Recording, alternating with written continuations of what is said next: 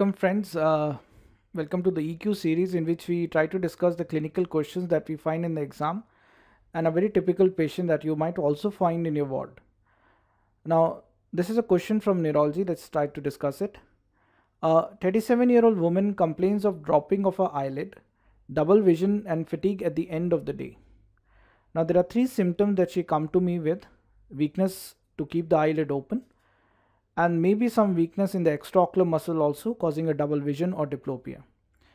And very typical that the more she works, the problem happens to be more at the end of the day.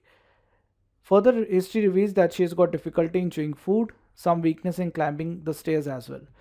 Now, difficulty in chewing food means a problem in the facial muscle, and weakness in climbing the stairs means there's a proximal muscle weakness also. On examination, there is a weakness of the eyelid, masticatory muscle, and of course the thigh flexors.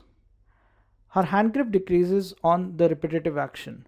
So when we tell her to hold something and on repetitive action, her hand grip decreases. Now she has got few typical symptoms. One is an ocular symptom, that is a ptosis. Another ocular symptom may be an extraocular muscle weakness causing diplopia. And of course the proximal muscle weakness involving the lower limb as well as the face.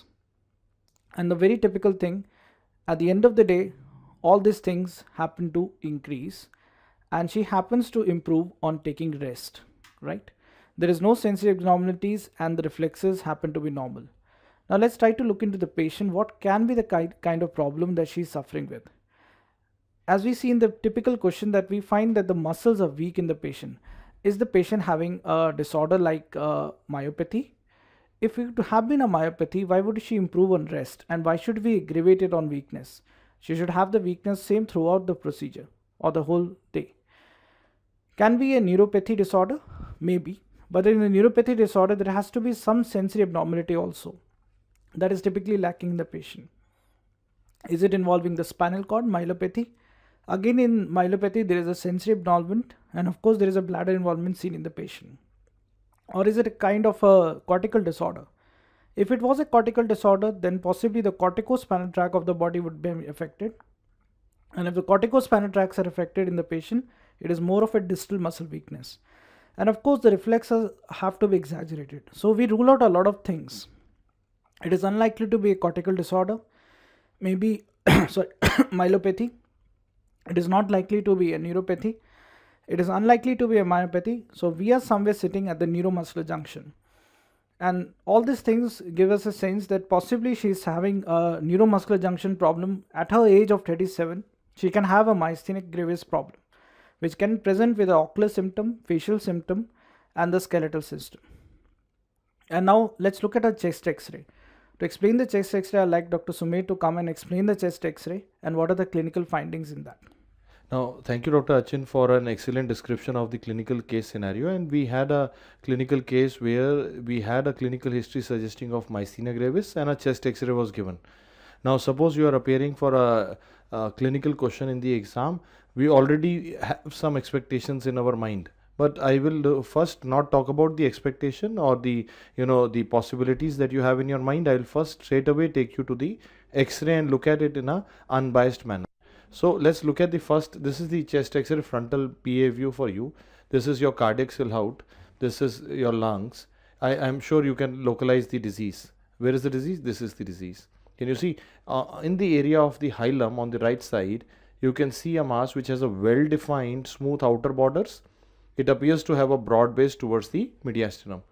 So whenever we see something which is having a base towards the mediastinum, a smooth outer borders, it is a pointer towards mediastinal lesion.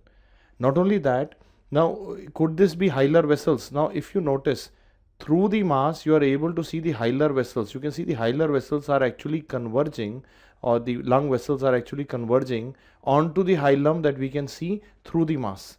So if you are able to see these vessels through the mass, this is something which is called as hilum overlay sign. So once we see hilum overlay sign, it is telling you it is not, it, this is a mediastinal lesion which is either anterior or posterior to the hilum and usually these uh, end up being proved as anterior mediastinal masses. So we have now a X-ray suggesting a mediastinal lesion, probably anterior mediastinal, which is showing hilum overlay sign. And with the view of history that we had, we have a suspicion of a thymic neoplasm or a thymoma in our mind because we had a history of those ptosis and myasthenia gravis in the picture.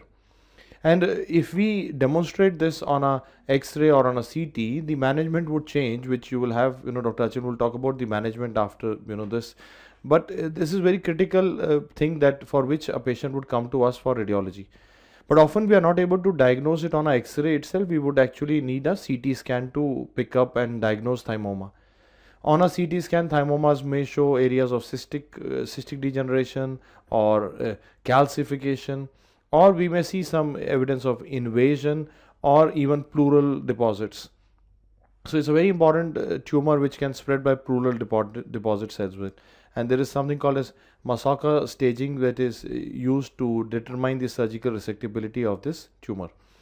Now, with the background in mind that you know we have a background of uh, you know the disease in mind uh, here we are instead of doing a ct scan we will try to confirm our finding on a simple lateral view. This is a lateral view.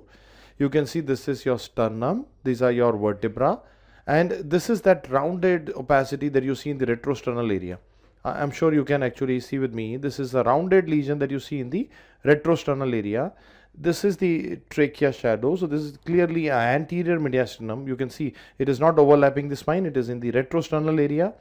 And normally behind the sternum, you should have a retrosternal air lucency, which we call as a retrosternal space or retrosternal lucency. And if you have an anterior mediastinal mass like this, it would obliterate it. Putting the clinical history as well as uh, the X-ray findings together, we already know that we are dealing with a thymoma. So what else would I want to do here? What else would I want to do here is I would want to look at the pleural cavity as well. There is CP angles are clear. The lungs are otherwise clear. There is no other nodule in the lung. The cardiac size is normal. There is no other abnormality. We might want to do a CT scan to confirm our findings further. But in this X-ray and the clinical history, the findings and the diagnosis is fairly straightforward. We are looking at a thymoma and it changes the surgical management because we know uh, how important this is. If you know this, you can actually go for an early resection of thymoma. We know the value of radiology here and the value of integration. Before I invite Dr. Achin again to discuss uh, this patient, I also want you to know in today's exam system, uh, there is a lot of value which is being given to integration people who are able to integrate the clinical findings with the radiology and the lab findings are usually able to do better than others who are doing rote learning. Understanding is the key of the current exam system. I'd like to invite Dr. Achin now.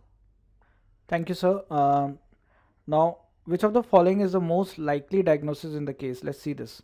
Is it a case of bronchogenic carcinoma, Hodgkin disease, or a thyroid tumor with a retrosternal extension, or a thymoma? As Sir discussed, is most likely to be a case of thymoma and we can all connect it with the disease also. As I described in the case earlier, she was having a proximal muscle weakness with ocular weakness and the facial weakness as well. And all the things are more likely to be clinically a case of myasthenia gravis. And we know the main generator of antibodies for myasthenia is in the thymus and the patient in 10% of the myasthenic cases can harbor a tumor also inside that is known as the thymoma. So most important thing in this case as we can understand that apart from the normal treatment of myasthenia she can be a case for a thymectomy also and it's always most useful and mandatory that any patient with a thymoma and myasthenia comes to us we should always go for a thymectomy surgery.